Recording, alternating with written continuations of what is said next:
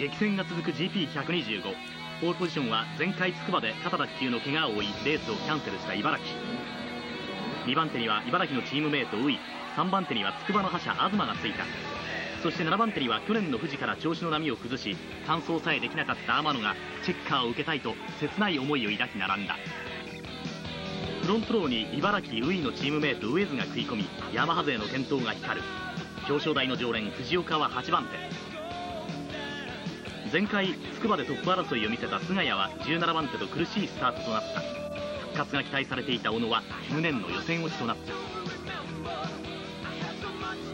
そうですねスタートからねまあ1周目で3秒とか4秒もし仮にですよ離れたらまあウイとかと2人でうまいことスリップなんか使いながら逃げれたらベストですけど多分混戦になると思うんでなんとか最後まで粘って頭使って前出たいなっていう感じですね。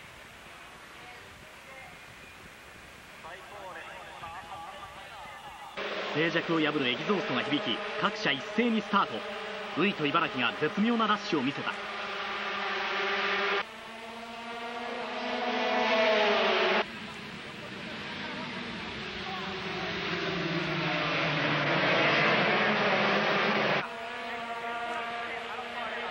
ポールショットを奪ったのはウイそれに天野茨城藤岡東らの精鋭が続く。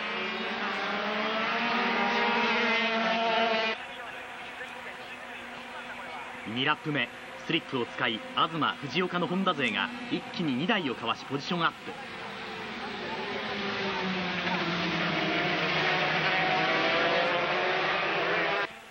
トップを走るウイはなんとか後続を引き離そうとアクセルを開ける。それを2位争いが追撃する。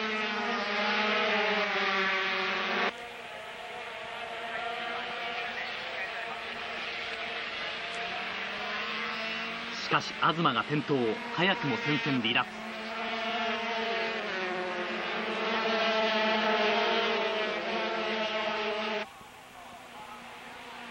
4ラップ目藤岡茨城天野の3台がデッドヒートを演じながらトップウイを飲み込み4台のトップ争いへと変貌する。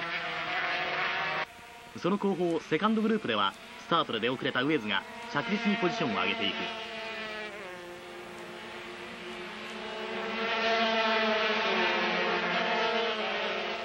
5ラップ目。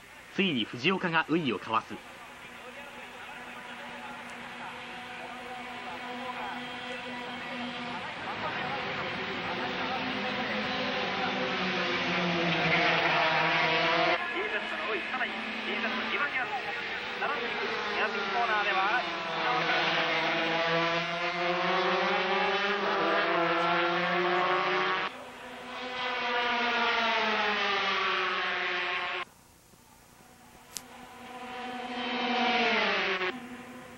だが6ラップ目には茨城がスパート。藤岡からトップを奪う。ウェーズは5位まで浮上してきた。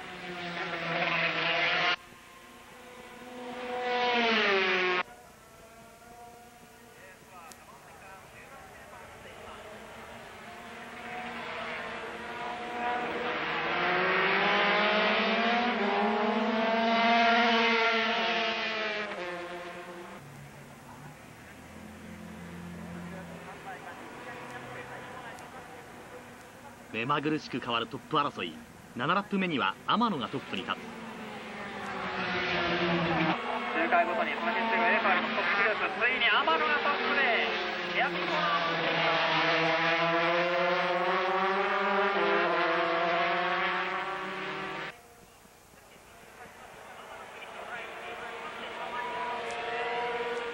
ーレースをリードするのはウイ激戦は続く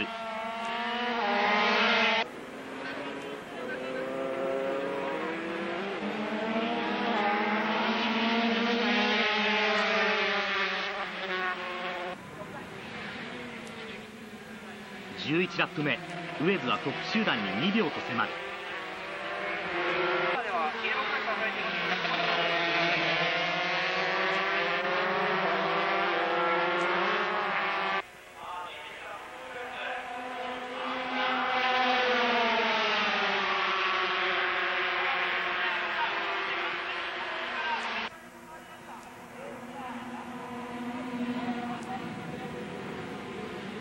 す13ラップ目ついにウェズがトップ争いに加わる。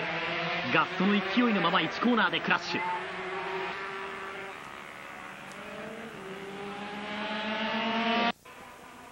ファイナルラップ。ウイ天野藤岡茨城が勝負に出る。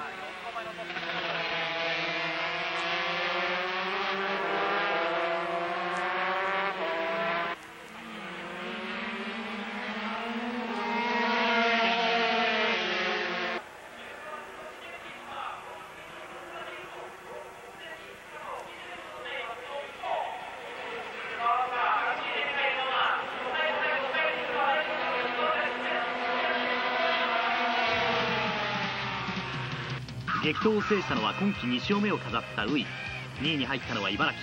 ヤマハのワンツーフィニッシュとなった。3位には最終ラップから涙が溢れていた天野。トラブルや転倒が続き完走できなかった悔しさと切なさが涙になった。約8ヶ月ぶりの嬉しいチェッカーフラッグだった。完走できたよやっともうダメだ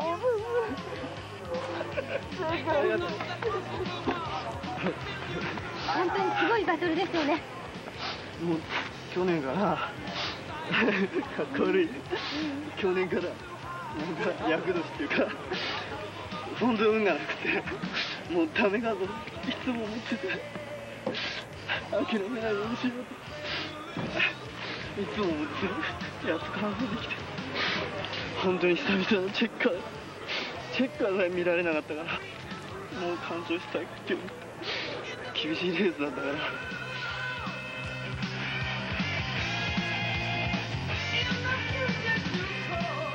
4位には藤岡が入り予選17番手から凄まじい追い上げを見せた大塚が8位と健闘した。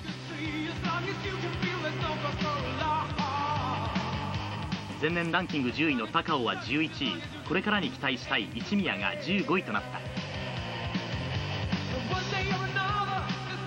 茨城さんすごい近くにずっと一緒に走ってくれたんですごい気が楽になって面白いレースできました、まあ、できるだけ頑張って前の方行きたいと思います。そうですね。本当にまあ確実にねちゃんとデータ残しながらやっていきたいと思います。どうもおめでとうございました。どうもありがとうございます。頑張るぞ。おお言わんかい